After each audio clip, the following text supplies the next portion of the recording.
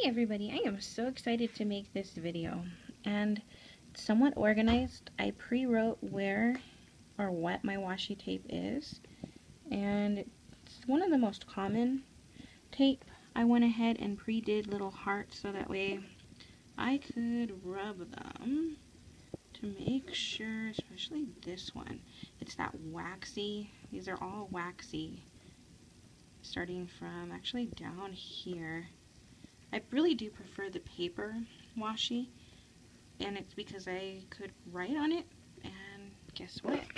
I can officially write on all of my washi tape. None of them smeared. I don't have any ink on there and this is the pen that I've used. Two bucks and it took a while to get here but it is double-sided and I absolutely love it. I've used this pen before ex who had it, and I finally got my own.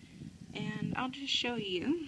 This is the paper one, and let's see if I can get this where I can write.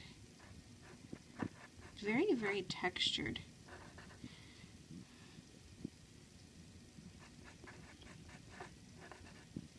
So you know that it's just kind of like sticking with no problem.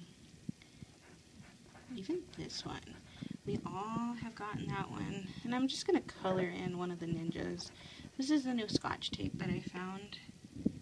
And you can see it's kind of like rubbing, but when you're writing, it would be a lot better.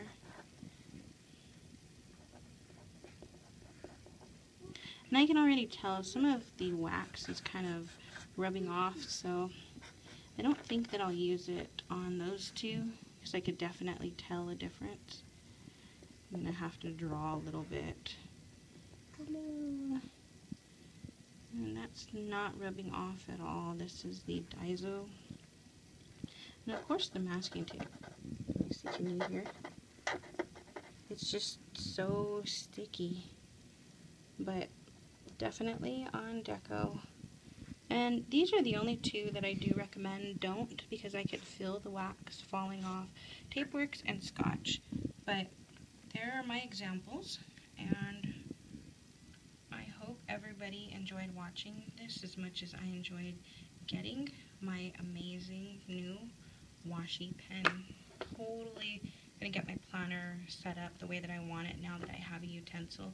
It's so hard being a new planner nerd because I see amazing planners and I struggle so much trying to get mine set up because things would rub off on pages, and I just hated it. But I won't anymore. Thank you guys for watching.